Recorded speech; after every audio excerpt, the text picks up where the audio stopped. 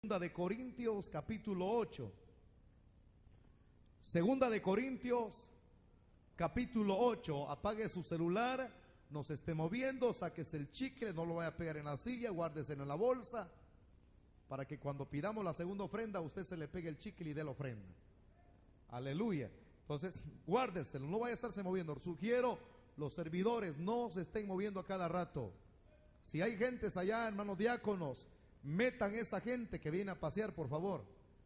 Aquí no es un estadio. Los estadios están allá en Sudáfrica, en el Mundial. Aquí está la gloria del Señor en este lugar y tenemos que aprovechar el tiempo. Así es que que no haya personas allá afuera. Y hay quienes no se percatan, traen la gente en los transportes, pero la dejan afuera. Ese es incongruente. No tiene que ser así. Capítulo 8 de Segunda de Corintios, estaremos leyendo el versículo 9. Quiero que lo lean en voz fuerte conmigo porque este mensaje es para toda la iglesia y para los amigos que Dios ha traído a este lugar. Dice la palabra de Dios de la manera siguiente, porque ya conocéis, le dije fuerte, leámoslo todos, porque ya conocéis la gracia de nuestro Señor Jesucristo, que por amor, toque el que tiene la par, dígale que por amor a ti, diciéndolo que por amor a vosotros, se hizo pobre, siendo rico, para que vosotros con su pobreza fueseis enriquecidos. Tome su asiento, por favor, si es tan amable.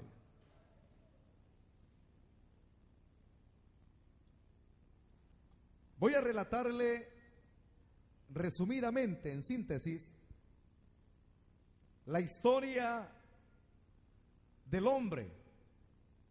Y la historia del hombre implica lo que voy a mencionar en esta tarde. Si usted se recuerda, así resumidamente, cuando Dios hizo al hombre a su imagen y semejanza, lo hizo un ser especial, porque era tan especial. Una cosa son los, son los seres angelicales, especiales que Dios ha creado allá para su servicio en el cielo, y otra cosa somos nosotros. Lo increíble de todo esto, el por qué yo llamo especial al hombre, porque si usted se percata de todo lo creado, de todo lo creado, en cinco días, lo más especial sale a relucir al sexto día. Porque de todo lo creado, Dios nunca, lo que Él crea en cinco días, nunca le da de lo de Él a todo lo creado en esos cinco días.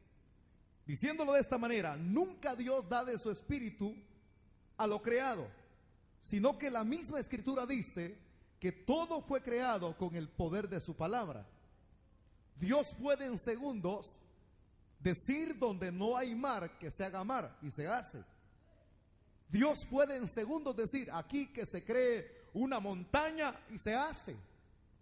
No es como aquel tipo de políticos que muchas veces para poder ganarse o agenciarse el favor de la gente, engañan con mentiras.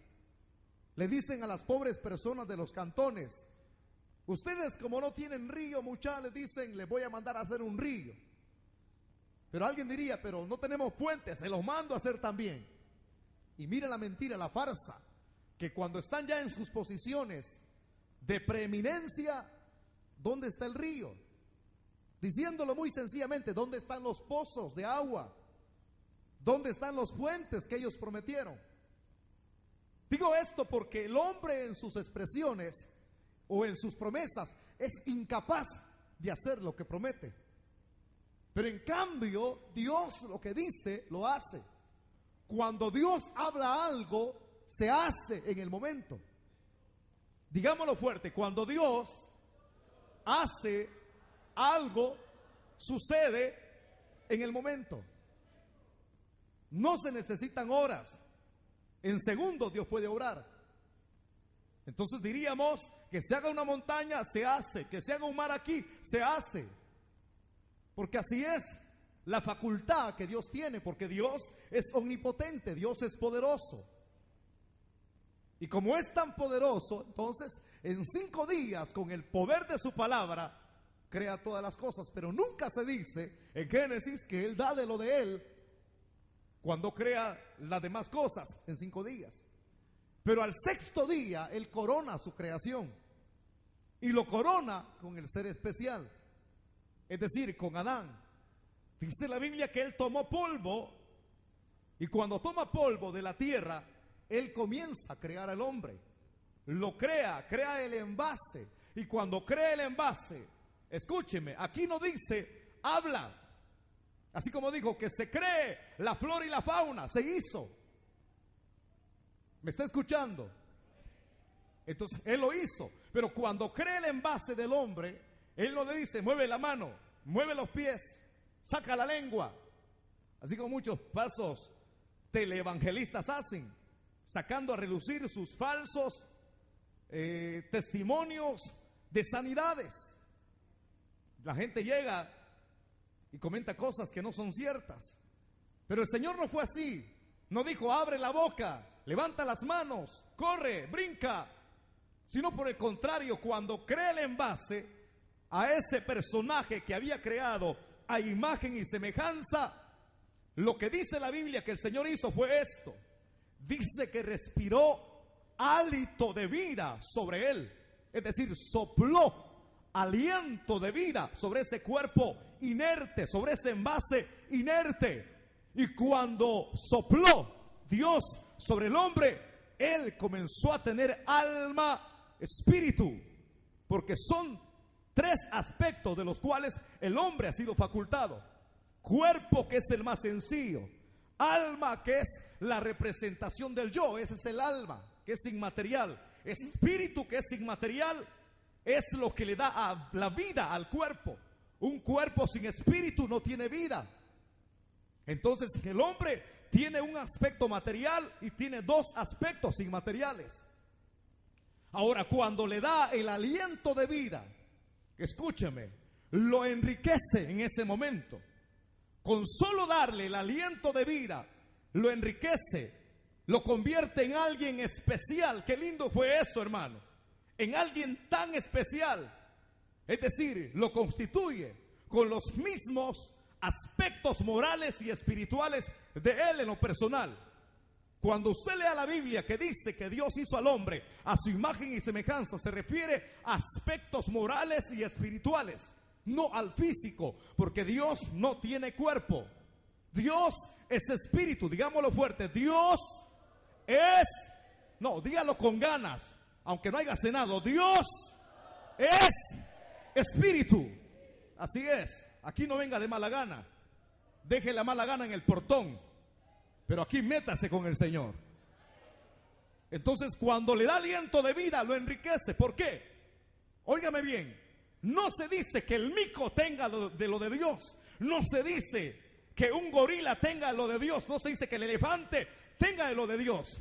A cada animal lo hizo diferente, lo hizo distinto, con, con cualidades muy diferentes a las de cada uno de ellos.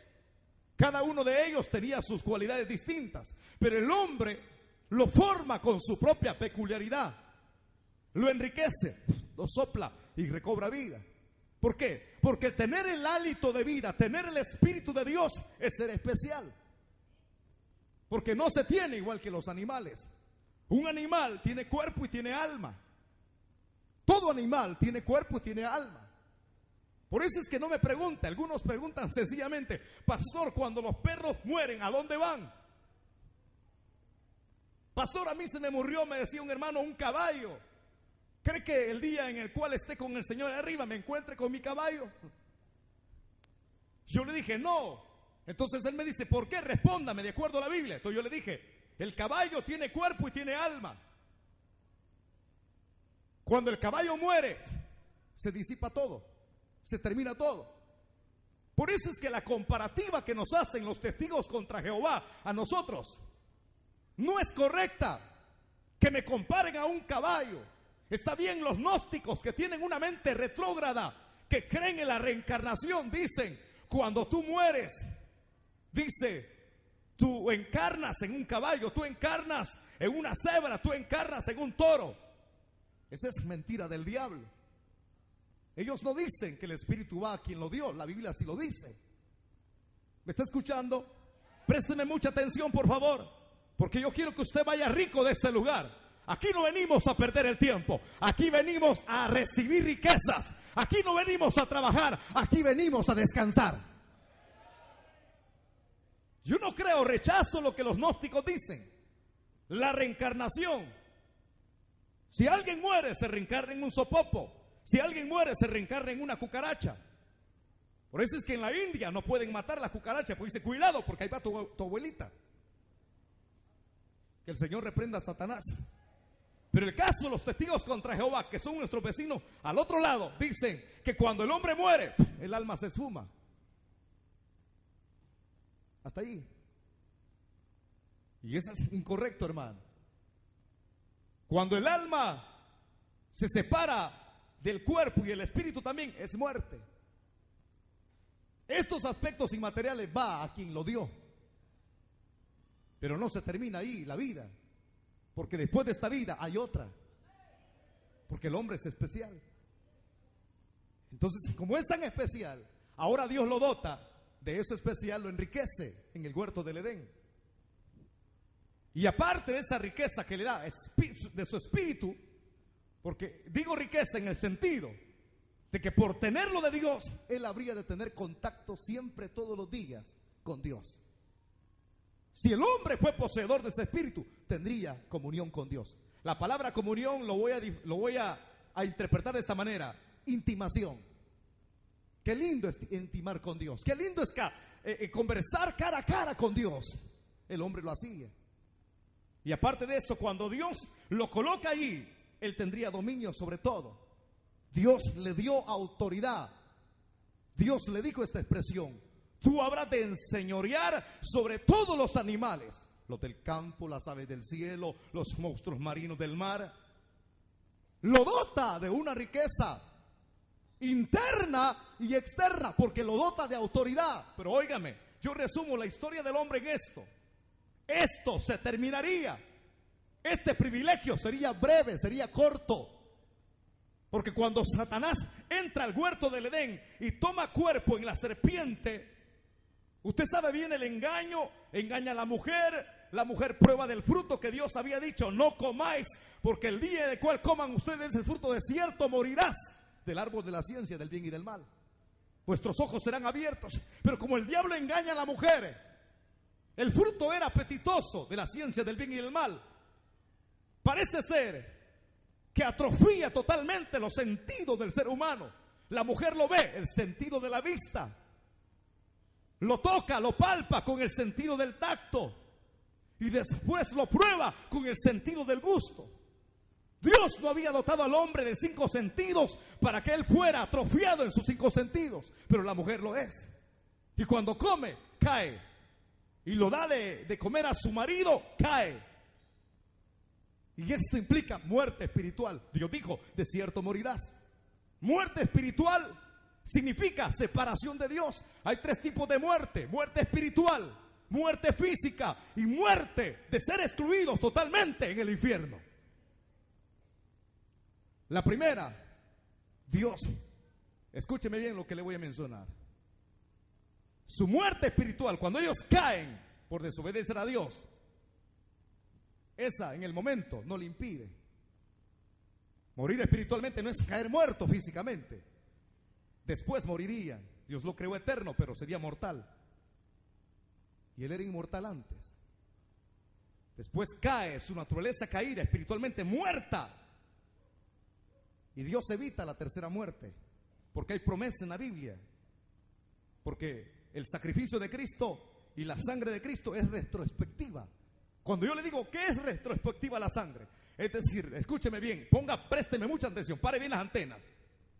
Si Dios prepara un medio de salvación al hombre y lo declara en Génesis 3:15, cuando Él pondría enemistad entre la simiente de la mujer y la simiente de la serpiente, y ya hay promesa de redención, esta, la simiente de la serpiente, le mordería el carcañal a la simiente de la mujer, que es Cristo y la simiente de la mujer le aplastaría la cabeza.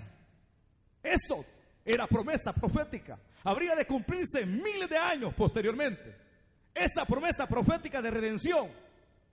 al ser cumplida exactamente el día y la hora, habría de salvar a Adán y Eva de ir a parar al infierno.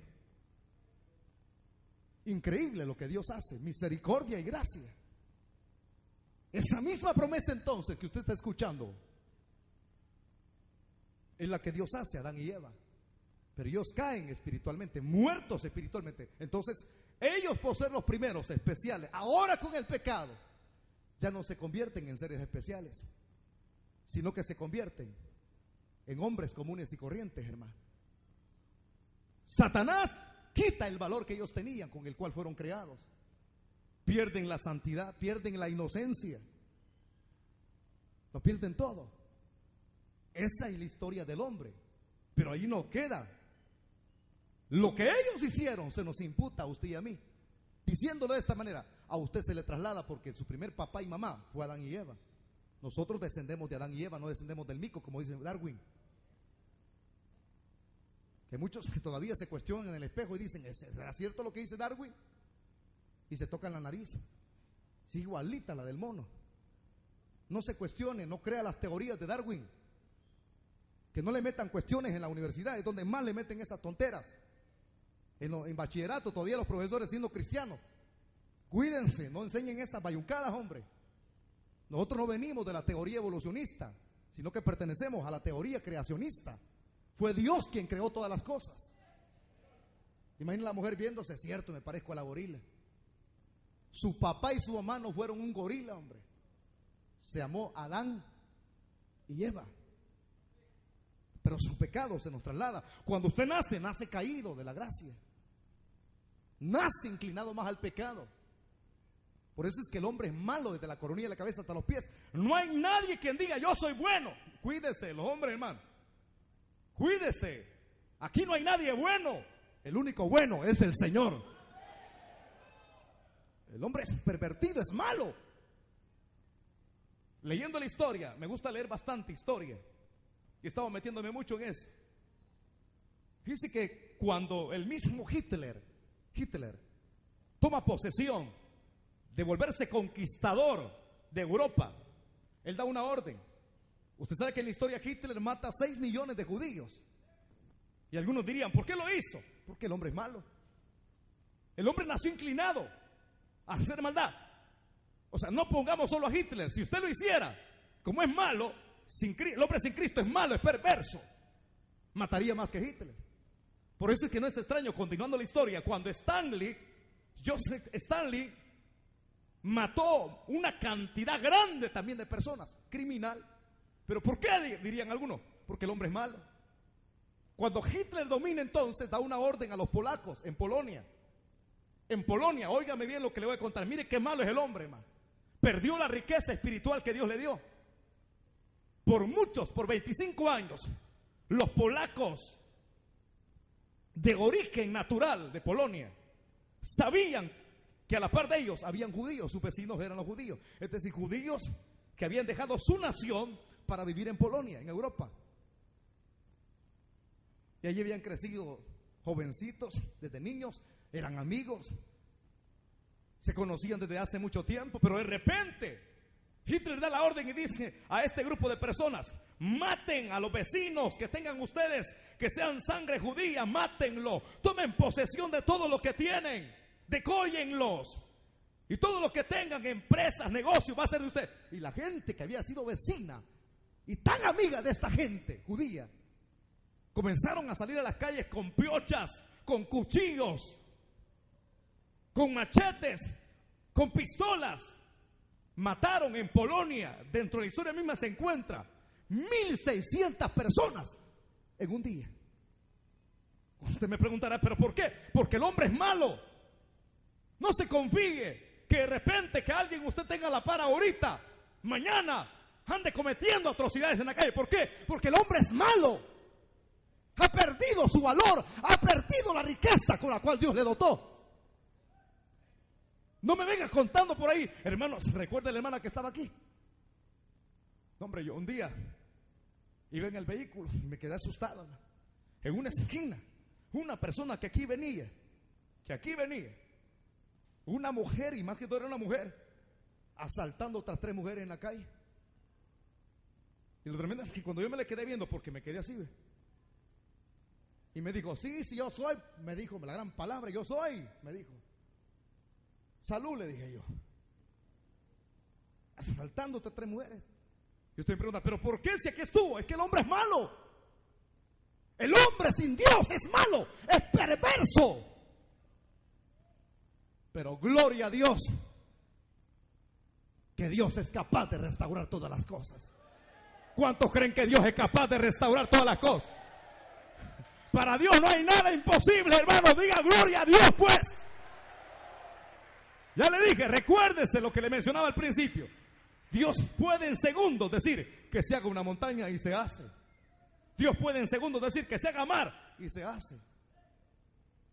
¿Quién es el que permite los tsunamis? ¿Quién es el que permite los terremotos? Ah, está dentro de la voluntad de Dios. El hombre, si el hombre es perverso, entonces, ¿qué hay que hacer para restaurarlo? Qué linda la pregunta. Viene Dios, el mismo Dios que le dio de lo de él al hombre al sexto día, porque al séptimo descanso. Y de un plan, pero ese plan es tan perfecto que no falla. No falla. Sino que es tan perfecto que se cumple al pie de la letra. Por eso Pablo cuando escribe a los Corintios dice, y comienza a decirles esas palabras, por favor no cierre su Biblia y lea el verso 9 en las primeras expresiones. Porque ya conocéis, le dice a los Corintios, ¿qué conocen ellos? La gracia de nuestro Señor Jesucristo. ¿Por qué conocían los Corintios la gracia de Jesucristo? Deténgase. Para que usted conozca y dé evidencia de la gracia, usted tiene que haberlo vivido. Yo si no tuviera Cristo y Él no hubiera apartado, yo no estuviera aquí. Yo no pudiera decirle, hermanos, amigos, el Señor me sanó de sida. No pudiera decírselo. Pero como yo experimenté la sanidad, yo creo en la sanidad divina. Cuando alguien viene con el cuentecito diciendo, pastor, hermano Wilber, tengo cáncer, ya Dios lo va a sanar, hombre. Pero en base a qué me lo está diciendo? Que yo lo experimenté. Yo era muerto y ahora vivo. Si a mí los últimos chequeos que me hicieron en el Seguro Social de San Salvador eran dictámenes desfavorables. Va a morir, quédese en la casa, tiene para comprar la ensalada. Porque ese era el principio, ah, por la época de los 85, 88, 90. Puedes comprar el cóctel de ensalada para que sobrevivas. No, hay, no habían posibilidades. Entonces algunos los aislaban, en caso mío no. Yo quise morir en la casa, pero Dios no me dejó morir. Entonces, cuando alguien vive lo que predica, lo que dice, es porque lo experimenta. ¿Cuántos eran malos y hoy Dios ha, depositado su gracia en ustedes?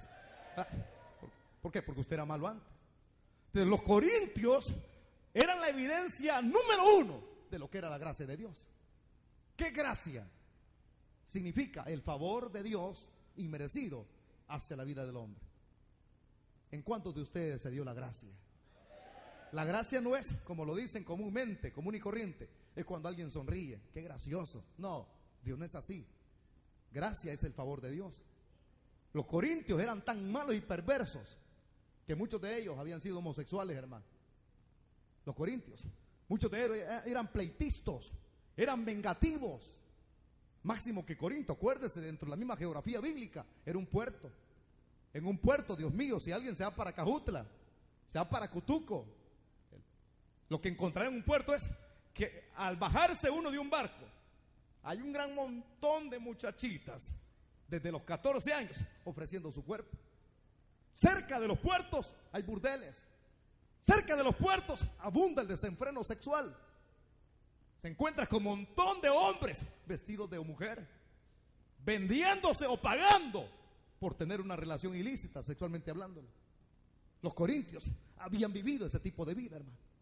Pero cuando la gracia de Dios llegó a ellos, las cosas cambian. Dios en segundo puede cambiar la naturaleza vil del hombre. Para Dios no hay nada imposible, señores. Aquí no estamos en un lugar donde se pongan remiendos. Que alguien me decía, pastor, usted debería de poner un rótulo. Se cobran cinco dólares por una oración, por un remiendo. No, señores, Dios no pone remiendos en paños viejos. Porque si se pone remiendo nuevo en paño viejo, la colcha se rompe. Dios lo que hace es hacer todas las cosas nuevas. Vea lo que la Biblia dice. He aquí, dígalo fuerte conmigo, he aquí. Las cosas viejas, dígalo así, viejas, viejas. No, no, ustedes no lo dicen de verdad, hombre, viejas. Pasaron y todas son creadas nuevas por el poder de Dios. Esa es la capacidad del Señor. ¿Cuántos alaban al rey en esta tarde? De ese montón de homosexuales de Corinto, ya andaban bien vestidos, hermano. Porque cuando un hombre, Dios lo convierte, anda como hombre. Aquí déjese de cuento que venga así con sus bayuncadas. Sin chazo me lo voy a agarrar. ¿Qué era antes con esos síntomas? Dios lo cambia, hermano. Dios lo cambia. Yo se los he dicho en mi testimonio. Yo era un prostituto, por eso que tuve sida. Yo vendía mi cuerpo. Mi cuerpo no es antes era más cholo yo, 180 pesaba. Era más coqueto. Pero Dios no quiere basura. Ninguna basura hereda el reino. Yo no tenía ningún temor de Dios. Y vendía mi cuerpo. Placer por 15 veces al día. Yo mismo me anunciaba. Picarás de un coyote, hermano. Pero Dios trató conmigo. Lo que usted está viendo aquí, yo no fui creado en el Evangelio. Hay gente que me ha preguntado, pastor, ¿y usted fue creado en el Evangelio? No, yo era una vil piltrafa. Era una basura. Era una llaga hedionda que despedía pus. Pero cuando Dios trató conmigo, le bastó tratar conmigo. Dos años. Y en dos años hizo Dios lo que nunca ninguna institución pudo hacer conmigo. Porque el trato comenzó dos años y lo culminó cuando vino la enfermedad. Eso es terrible. Pero Dios observa al hombre. El hombre es malo, es perverso. Pero Dios da su gracia y los corintios comenzaron a cambiar. Aquellos que vendían su cuerpo comenzaron a ir a la iglesia ya con sus pergaminos, a oír la palabra. Aquellos, aquellas mujeres chambrosas, que algunas no les quita la maña todavía, como que no les ha amanecido. Una mujer cristiana no tiene que ser chambrosa, hombre. O no le ha amanecido usted, no se ha convertido de verdad. Que allá andan trabajando con la prensa gráfica. No, hombre. Y también ustedes, algunos son chambrosos. Que se les quite esa lengua. Ya tienen que haber cambiado de vida. ¿Qué pasa es que no se someten a la palabra. Parece ser que les entra aquí y les sale por el otro oído. Sométanse a la palabra. Y van a haber cambios. los cambios se dieron en Corinto. Y todavía algunos llevaban mañas a la iglesia. ¿Se recuerdan? Ustedes lean todas las, dos epístolas, van a dar cuenta. Pero Dios los iba cambiando. Algunos eran carnales, pero Dios iba obrando en ellos. Y así es lo que Dios hace con el hombre malo, perverso. Algún día lo voy a ver con una Biblia aquí y de repente lo veo con una pacha de guaro en la calle. yo siempre digo, qué perverso es el hombre. Vi uno por allá y le dije, vendiendo drogas. Que cuando estaba vendiendo la droga, se hizo para atrás. A otro la hallé chiviando. Se metió las cartas a la bolsa. Yo le dije, mira papá, le dije yo, no te ha amanecido. Ah, pues ya no hubiera la iglesia. No, no, no le gusta estar llegando a calentar una silla, papá. No te ha amanecido. Si llegas, convertite de verdad. Estos mensajes no los dan en cualquier lugar, hermano. Porque hay lugares donde le apacentan el pecado. Si usted sigue siendo bolo, ay, deje que el Señor vaya tratando con usted. No hay problema, siga fumando si usted chimenea. No, señores, Dios no te trae a una congregación, a un local como estos, para que siga siendo desgraciado, pobre. Dios cuando te trae a un lugar como esto es porque quiere enriquecerte. Ese es el propósito. No es coincidencia el que usted está aquí. Si usted anda todo desordenado en su vida espiritual es porque es pobre. Y ya el diablo se aprovecha de usted. Ya viste que naciste pobre. Ya viste que nadie te ve, todos te ignoran. Ya viste que todos te odian, nadie te quiere. El diablo, el que devaluó al hombre que tenía valor.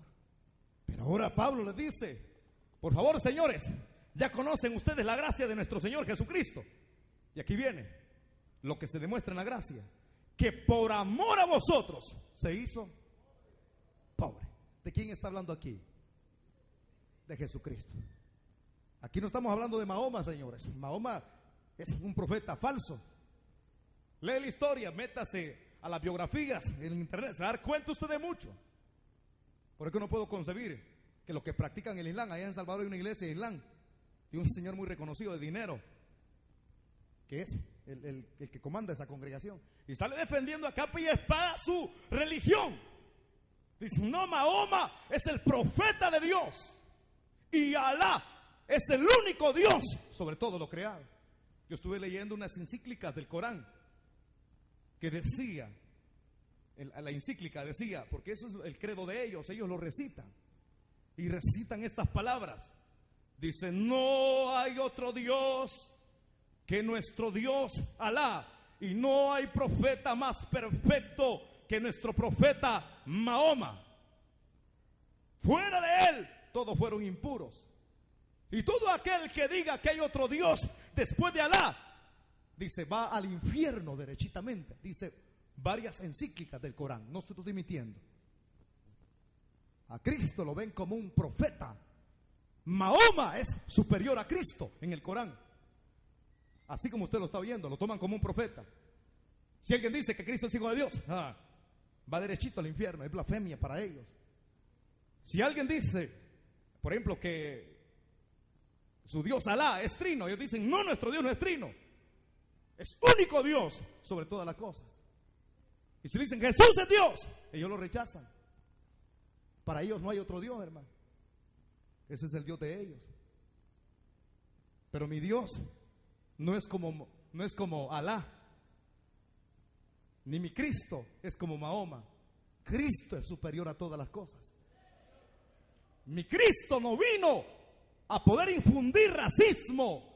Él vino a buscar y a salvar lo que se había perdido. Él vino a derribar las barreras para unir los pueblos que están separados.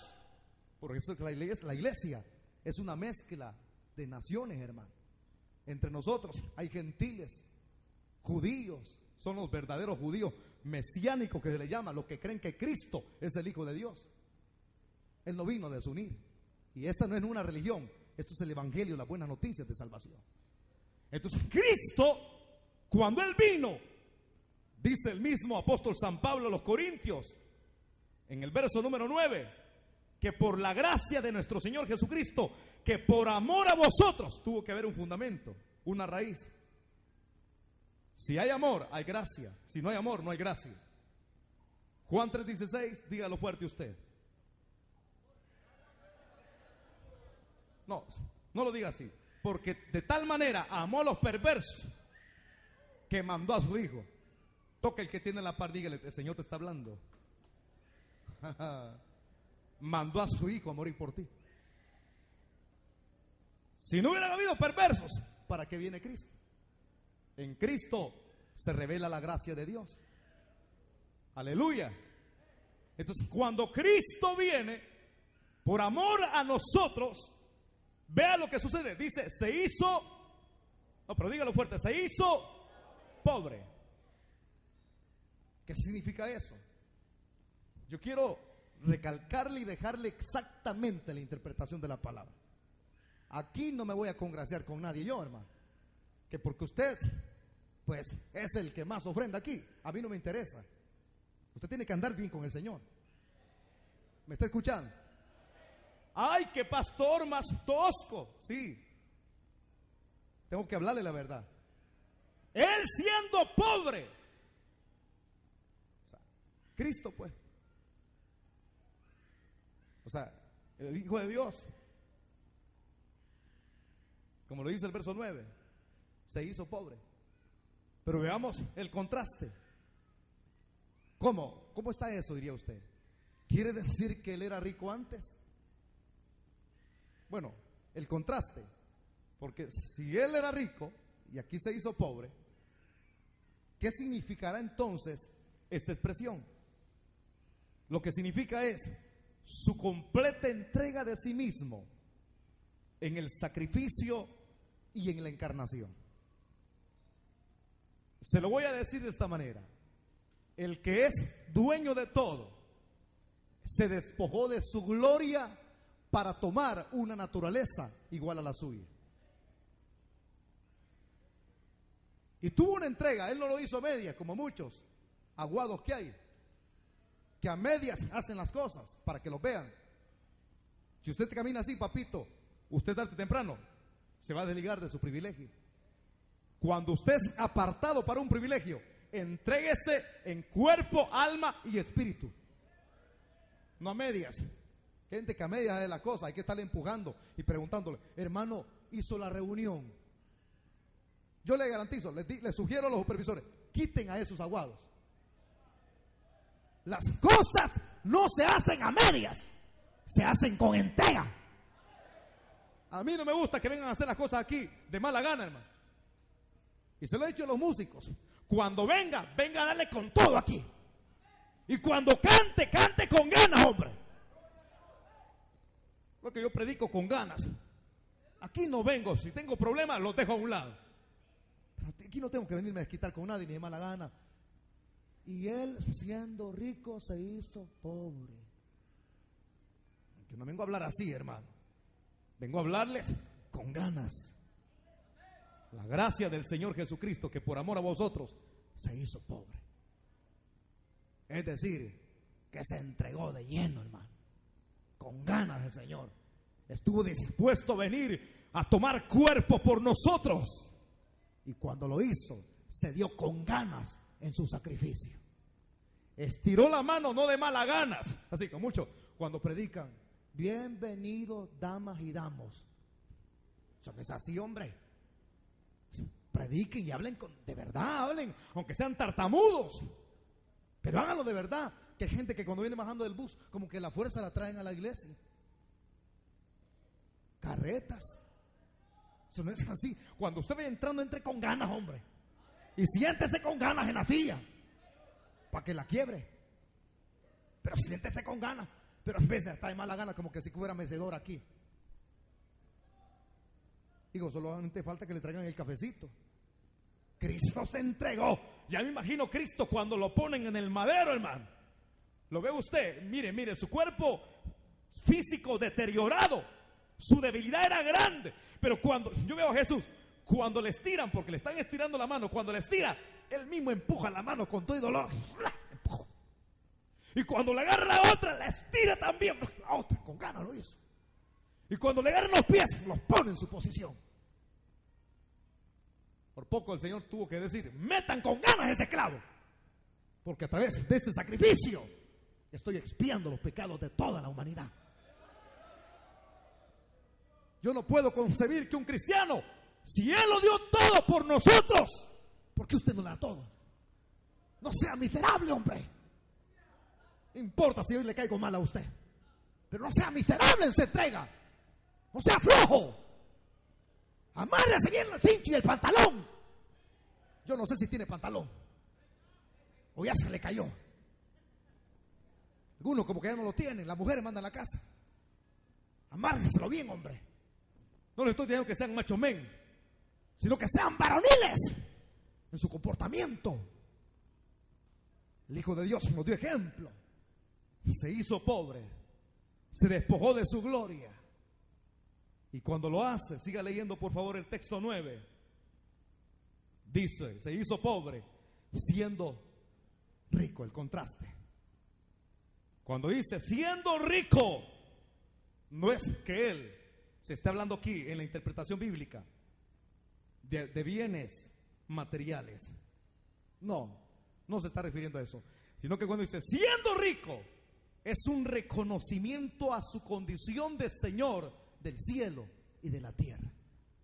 Diciéndolo, siendo curios, siendo el soberano de todo, está dispuesto a venir donde hay tantas llagas podridas.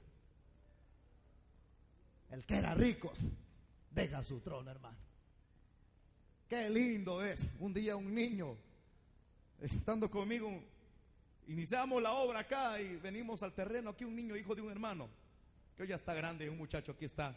Él no se recuerda. Pero me dijo una vez aquí, aquí había unos palitos, aquí no había nada, la intemperie nos pasamos. Y allí un palito. Estábamos viendo un montón de Montarral cuando de repente me dijo, hermano me dijo, ¿y por qué Cristo vino a morir aquí a la tierra? Entonces vine yo y me agaché y comencé a explicarle, agarré un pequeña estillita por ahí, le expliqué y le dije esto, esto. Bueno, el mejor ejemplo que busqué, ya no te sigo explicándole. Vení para acá, y había un hormiguero ahí. Y le dije, mira estas hormiguitas, ellas tienen hijitos. Y estaban acarreando un montón de migajal, yo no sé, ahí en la parte esa, eran como unas semillitas las que estaban acarreando, despedazadas, para un orificio, tipo volcancito. Y me dice, ¿y por qué tanto trabajan? Porque le están llevando comidita a sus hijas, las hormigas. Entonces, pero qué sacrificio, me dice, qué pesado será para ella. Y yo le dije, pues me estás preguntando por qué Cristo vino a morir. Fue lo mismo. Él hizo las poses de una hormiga. Él, por salvar a la humanidad, se hizo como nosotros. Y me dice, ¿quiere decir que si yo quisiera salvar a estas hormiguitas, tengo que convertirme en hormiga? Sí. Ay, quisiera ser hormiga, me dijo. Ya te parece, le dije yo. No, no voy a pensar que le dije a ese cipote, hermano.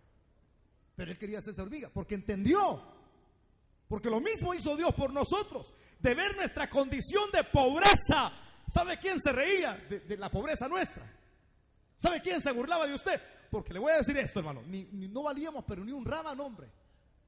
Usted puede decirme, ay, pero yo tengo casas, tengo carro.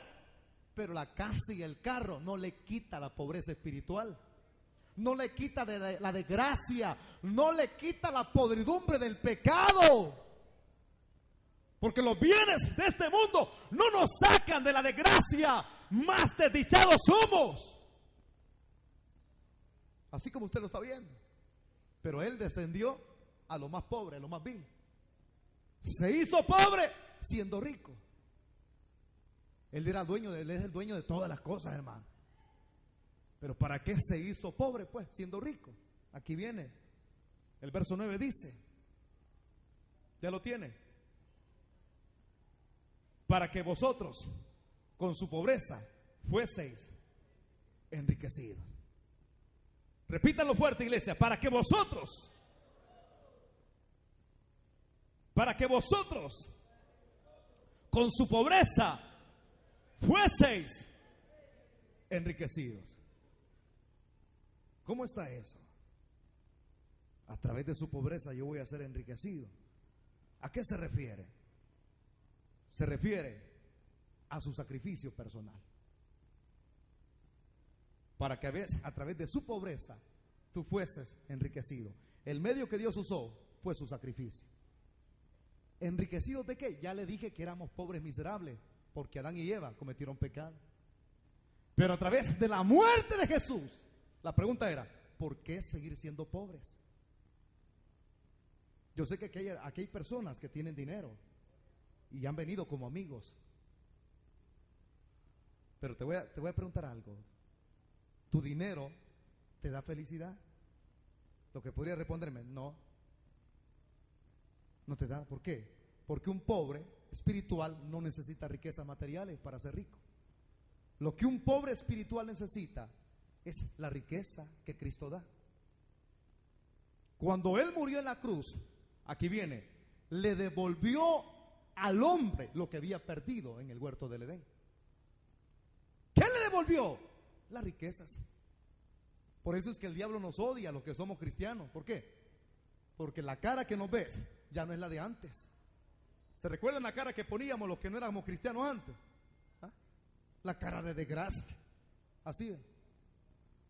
Le llegó uno, la cara así de amenazante. El diablo se reía y se reía porque al que bien le sirve, mal le paga. Éramos tan pobres que buscábamos la religión y la religión no llenaba nuestro vacío. Éramos tan miserables que creíamos que la música, algunos amanecíamos hasta las 3 de la madrugada moviendo el cuchumbo usted. Sí, la cuchupa, para que baile la canalla y moviendo. Y algunos amanecíamos hasta las 4, todo, todos desvelados, bailando pegados ahí, hermano, como que éramos títeres del diablo. Endrogados, llenos de, ¿qué digo? De, de, de, ese, ¿cómo le dicen? Pintalabios. Aquí por la cara, con la camisa toda desmangada, borracho en la casa, ebrios, no acostados, qué vida. Y luego teníamos que mañanear al trabajo de goma. Qué vida de desgracia. Pero aquí hay una buena noticia. Si alguien está en esa condición, aquí está el único que te puede hacer rico, papá. Así como usted lo está viendo. Si hay alguna mujer que camina miserable, que has tenido cinco maridos, y crees que con tener marido roba hombres, crees que con eso vas a ser feliz. Nadie es feliz con eso. Por alguna mujer, Cristo le encontró en el pozo. Y la última conversación que él tuvo es, ¿cuántos maridos le dijo que tenía? ¿Ah? Cinco maridos tienes y el que tienes ahorita no es el tuyo. Entonces, ¿cuántos eran? Seis. Y cualquiera pudo jugar a Cristo, él es el siete, porque la conocía. Pero le voy a decir, el único que necesitaba, aunque la gente señalara, era ese número siete.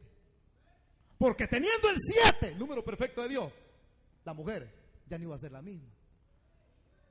Salió corriendo y dejó el cántaro. He hallado uno que me ha dicho todo.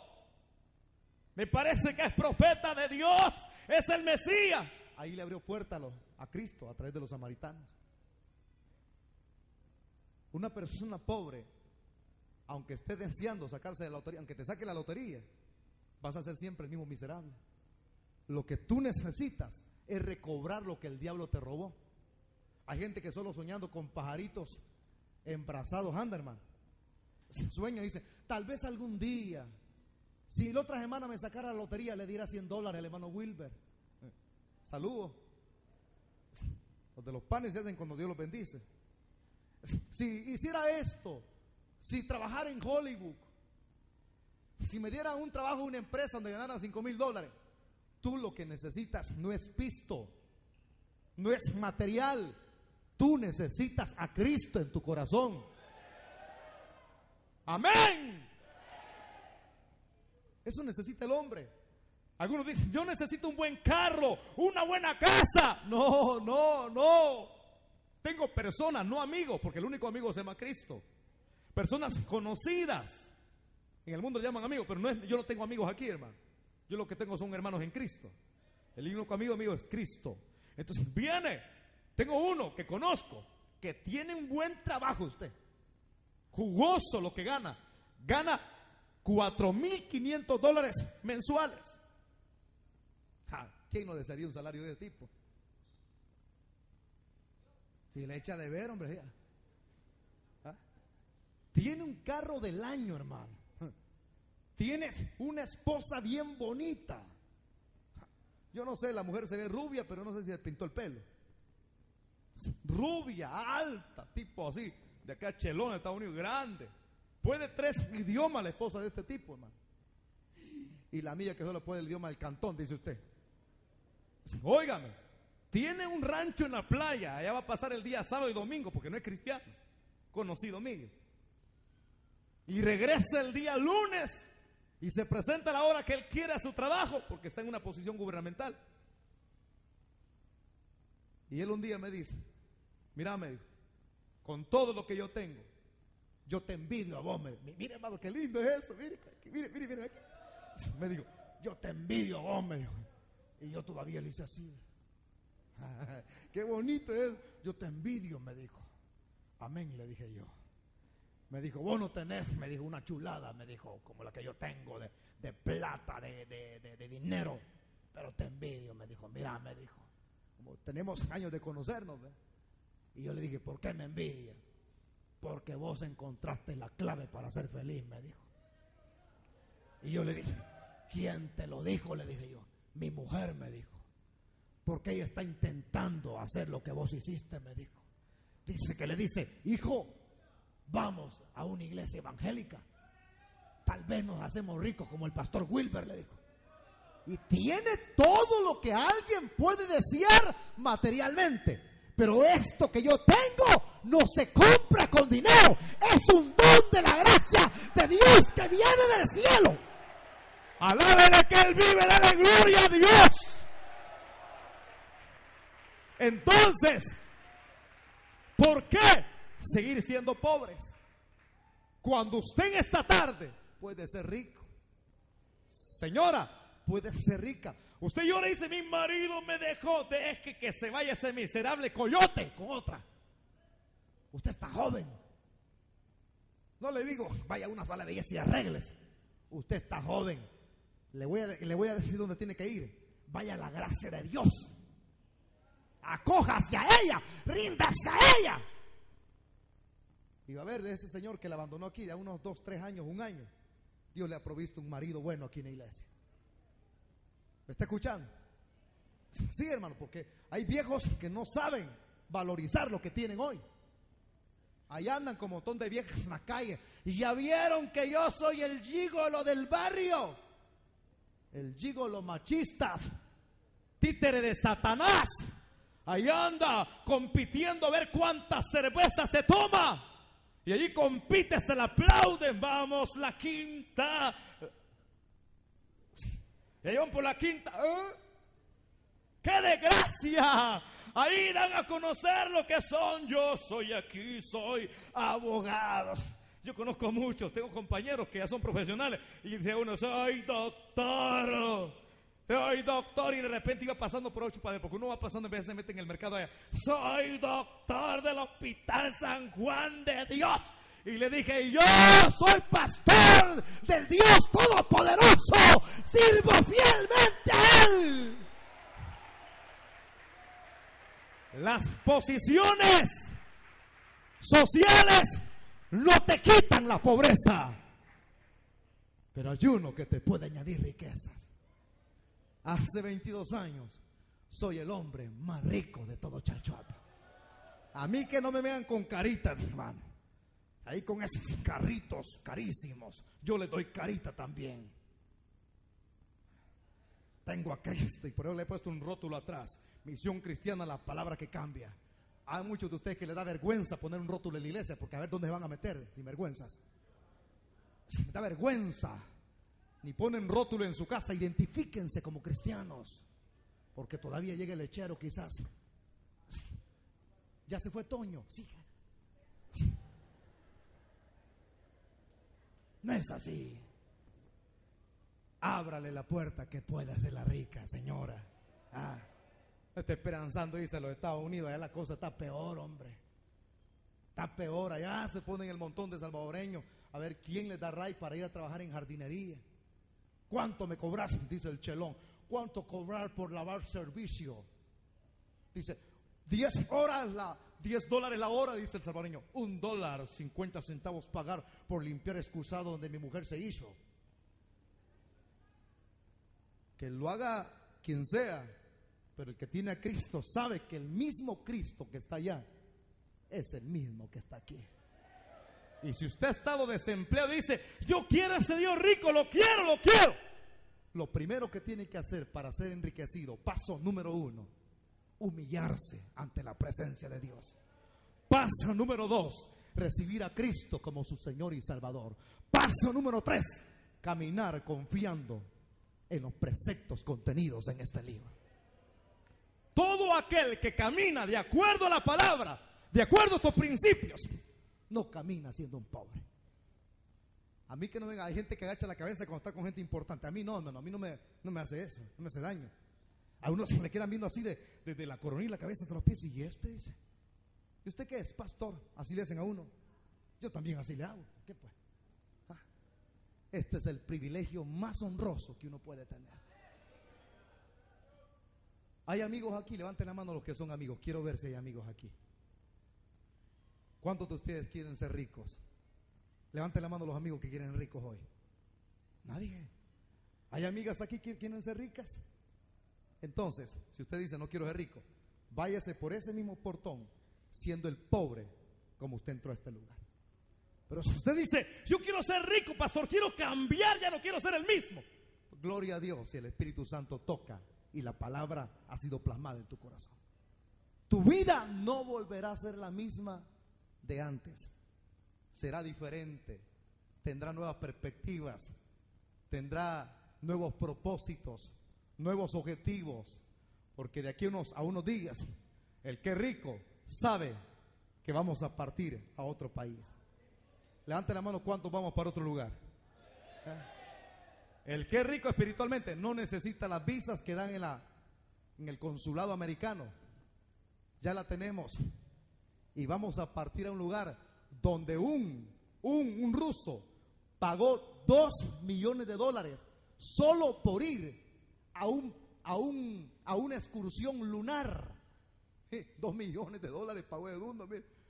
Una excursión lunar, él solito en el cohete. Y hoy vuelvo a ver la noticia. Está dispuesto a pagar cinco millones por ir a una excursión a Marte. Y usted y yo, como somos ricos, de choto y de gratis. Nos vamos, a, ya nos montamos en el mejor jet, en el jet del Evangelio, de choto y de gratis. Viene desde arriba, hasta con trompeta lo va a recibir el Señor arriba, anunciando que su iglesia, los que son ricos, parten para arriba. Y óigame, vamos a pasar por Marte, Júpiter, Saturno. Y puedo tocar los anillos de Saturno, cállese mejor. Y vamos para allá y vamos a pasar por el sol. Pero ni las naves tienen, tienen, escúchenme, la capacidad ni de acercarse tantito al sol, sino que millones y millones de kilómetros no pueden porque las naves se desintegran.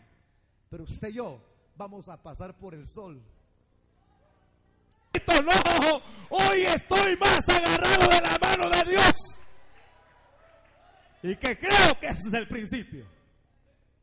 Para que Dios siga enriqueciendo miles de personas en todo Chachua. Termino con esto, al grano. Vaya a ser rico de este lugar. Ya no vaya arrastrando las patas. Levante el rostro.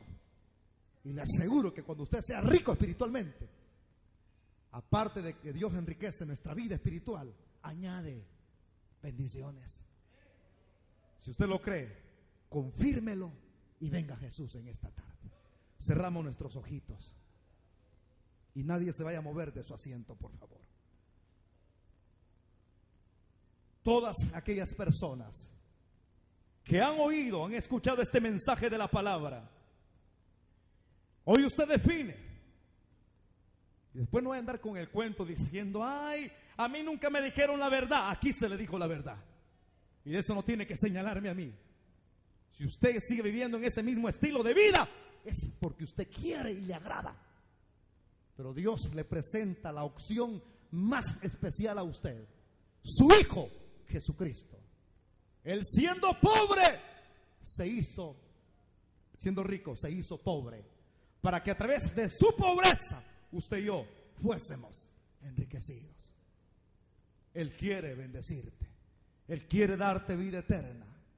Las personas que le van a rendir su vida a Cristo por primera vez y quieren ser ricos espiritualmente, hagan conmigo esta oración. Es clave para usted. Repitan solamente los amigos, no los cristianos, a no ser que usted esté caído del Evangelio. Hagamos esta oración entonces. Abre tu boca y repítelo. Señor Jesús, me arrepiento de mis pecados. Perdóname. Creo que tú eres Dios y tomaste mi lugar en la cruz del Calvario. Y ahora te recibo como el Señor de mi vida, como mi Salvador personal. Y creo que la sangre la cual derramaste en la cruz del Calvario por mí, me limpia de todo pecado. Y creo que tú resucitaste de entre los muertos al tercer día.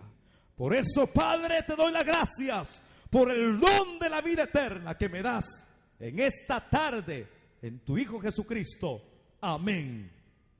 Y amén. La iglesia está orando unos segundos. Hay tantas personas que lo tienen todo y no pueden ni dormir. Tienen que comprar medicamentos, tienes que estar donde el psicólogo tres veces al mes. Enriquezcase con Cristo, enriquezcase con el Señor y va a ver que las cosas cambian. Hoy es la tarde de victoria en este lugar. Quiero que levante sus manos. Toda la iglesia levante sus manos. Después voy a preguntar. Solo quiero que escuches esta estrofa. Al meditar Dios mío en las cosas que me has dado. Mi corazón se inflama, turbado de emoción, que no encuentro palabras con que expresar mi El agradecimiento de mi alma para ti. Cambiaste tú mi vida, me diste esperanza. Y desde aquel instante mi alma recibió un gozo tan sublime. ¡Alábele!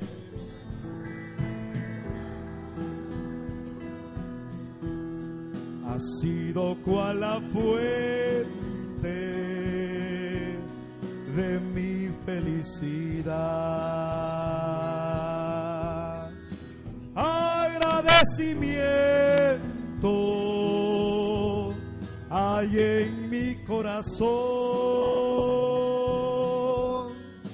Canto de alegría. Elevo con mi voz. Digámoslo todos. Muchas son las cosas.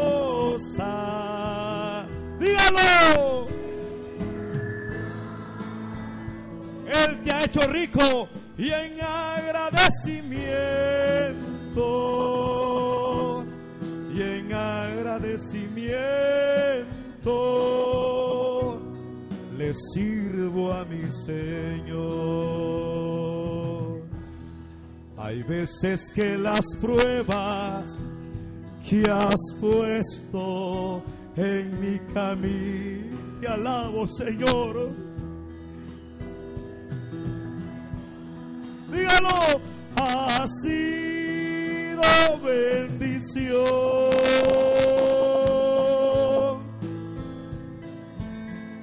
Tú me has dejado solo. Ha sido cual la fuente de mi felicidad. Todos agradecimiento hay en mi corazón. Canto de alegría, elevo con mi voz. Muchas son las cosas.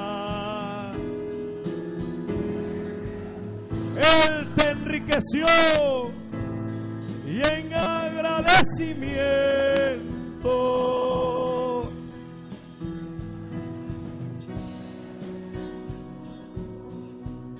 le sirvo a mi Señor.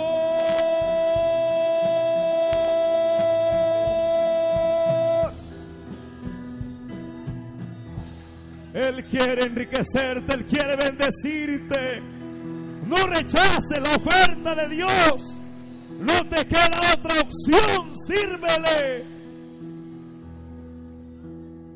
La iglesia esté en esa reverencia y los diáconos se ponen sobre sus pies. Yo cómo voy a dejar lo que Dios me ha dado.